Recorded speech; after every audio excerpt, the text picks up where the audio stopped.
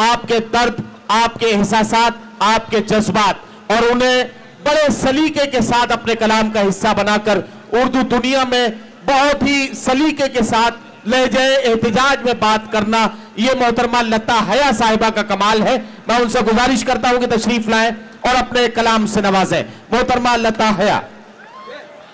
अस्सलाम ये है हिंदुस्तान ज़्यादा टाइम नहीं लूँगी, जब आई तो भाषण चल भी रहा था। और आज क्रिसमस डे है। मैं ये कहना चाहती हूँ कि मेरे बेटे का भी जन्मदिन है।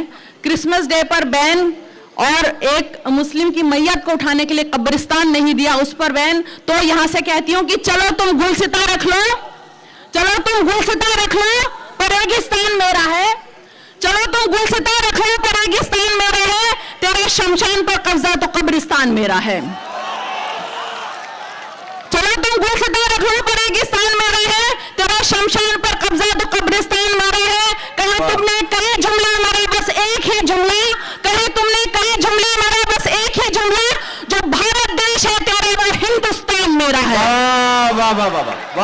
तो क्या कहना क्या कहना। और ये कहना चाहूँगी कि गुलशन पर तो सबका हक है।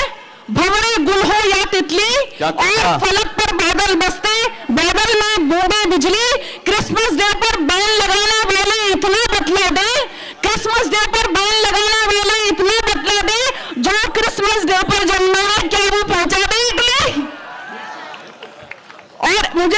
नज्म का हुक्म दिया गया था वक्त कम है जल्दी से सुना के बस इजाज़त चाहूँगी।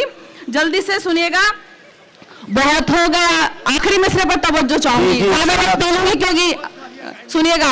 बहुत हो गया बंद करो अब नफरत का ये खेल यहाँ। हिंदू मुस्लिम सिख ईसाई सबका है ये हिंदुस्तान। सिंहासन पर बैठे हो तो सिंहासन का मान करो।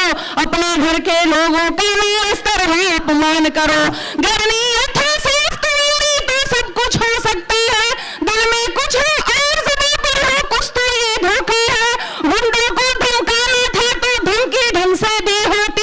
होती होती तो बात बात पर ना रोती। होती तो बात बात पर ना रोती। मैं पीएम होती तो बात बात पर ना रोती। सुनिएगा सर सरहद पर जो खड़ा सिपाही। और मैं ये भी कहना चाहूँगी कि आप लोगों से भी तीन चार मिसरे चाह के इजाज़त चाहूँगी कि हम इल्ज़ाम देते हैं अपने सियासतदानों को। लेकिन एक बात कहूँगी कि खुदा की राह पर चलते तो यहाँ बर्बाद न होते। क्या कहना क्या कहना वाह।